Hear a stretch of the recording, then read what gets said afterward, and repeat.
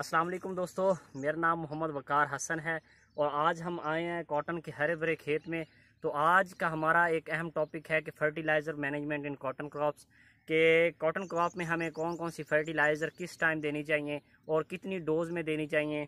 और बेहतर आज हम ये बताएँगे आपको एक फार्मूले से हट के कि हम इन किसान भाइयों से पूछा है कि आपने इस कॉटन के खेत में किस तरह और कौन सी फर्टिलाइज़र कितनी मकदार में इस्तेमाल किया है। आज सिर्फ़ मैं आपको वो शेयर करूँगा कि जो डोज़ इन किसान भाइयों ने इस कॉटन क्रॉप को दी है तो मेरी नज़र में तो कपास बहुत अच्छी कंडीशन में खड़ी है।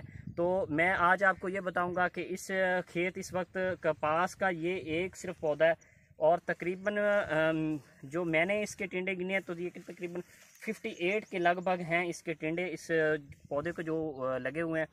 तो मैं आपको ये बताऊँगा कि इन किसान भाइयों ने कितनी खाद इस्तेमाल की है। इन्होंने तकरीबन एक बोरी डीएपी की इस्तेमाल की है ज़मीन की तैयारी के वक्त।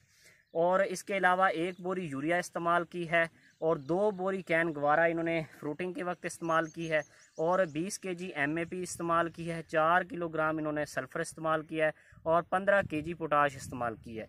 तो ये एक बहुत ही अच्छा फार्मूला है और तकरीबन इन्होंने अपनी कपास में फर्टिलाइज़र ट्रीटमेंट पूरा कर लिया है।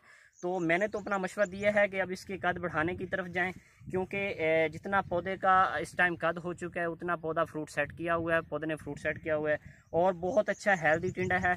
ये मेरे कैमरा दिखाएँगे नीचे की तरफ़। ये कपास इस वक्त बहुत अच्छी फ्रूटिंग स्टेज में खड़ी है।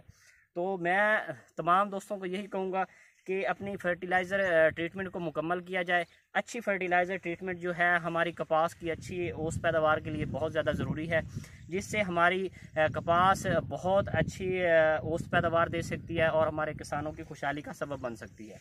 तो मैं, अगर दोस्तों को, तमाम दोस्तों को मेरी वीडियो पसंद आई तो लाइक और सब्सक्राइब कर दीजिएगा शुक्रिया। अल्लाह हाफिज़।